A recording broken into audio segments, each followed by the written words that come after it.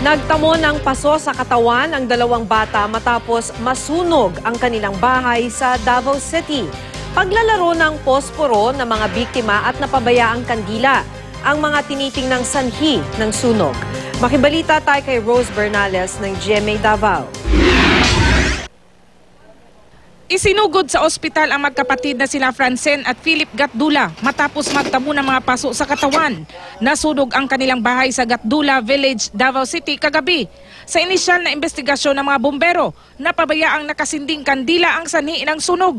Posible rin daw na naglaro ng posporo ang mga batang edad 5 at 7. Wala naman yung kuan, kusog dako naman yung kalayo. Amo na lang, gipatay na lang mo itong kalayo, gisave na mo itong una ka, duha ka bata. So na, nadala ni sa mga relatives kay na kuan pa man nila, nagapang pa man nila. Dala na sa ospital.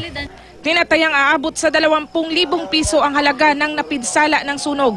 Paalala ng mga bombero sa mga magulang, itagong mabuti ang mga posporo at kandila para hindi mapaglaruan ng mga bata.